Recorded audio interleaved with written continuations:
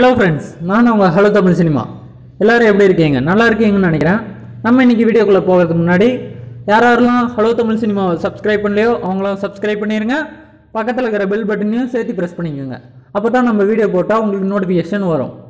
வாங்க இன்னைக்கு நம்ம வீடியோக்குள்ளே போகலாம் இன்றைக்கி நம்ம வீடியோவில் என்ன பார்க்க போகிறோன்னா அருண் விஜய் சாரை பற்றி தான் கொஞ்சம் பார்க்க போகிறோம் அவர் ஆட் பண்ண ப போகிற படம் பற்றி இப்போ ஆட் பண்ணிகிட்டு இருக்கிற படத்தை பற்றி அதை பற்றி தான் இன்றைக்கி நம்ம பார்க்க போகிறோம் அருண் விஜய் சார் இப்போ பிஸியாக நிறைய படத்தில் ஆட் பண்ணிட்டு வர்றாரு இப்போ தான் கடைசியாக மாஃபியான்ற ஒரு படத்தில் நடித்து முடித்தார் படமும் ரிலீஸ் இருந்துச்சு பயங்கர ஹிட்டாக இருந்துச்சு. படமும் நல்லாவே இருந்துச்சு.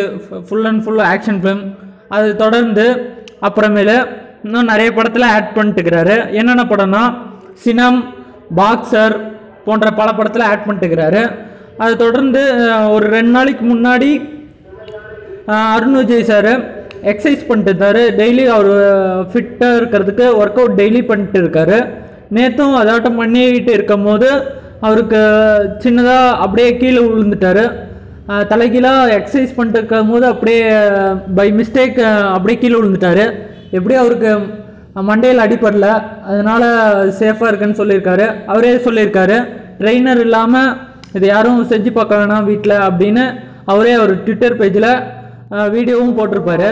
அந்த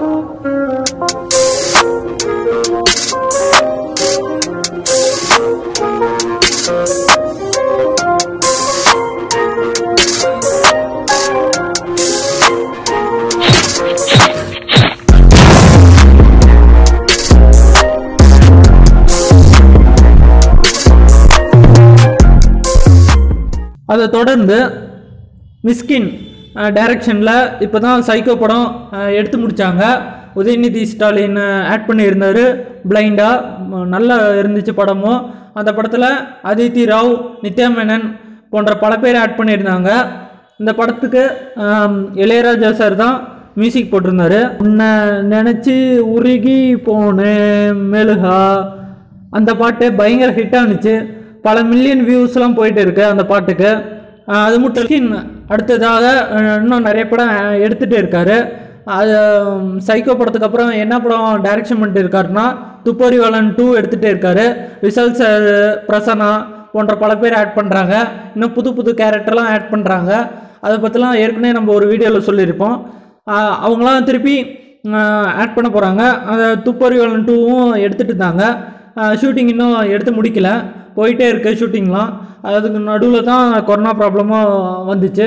இந்த ப்ராப்ளம்லாம் ஃபுல்லாக முடிஞ்சதுக்கப்புறம் திருப்பி ஷூட்டிங்லாம் எடுக்க ஆரம்பிப்பாங்க.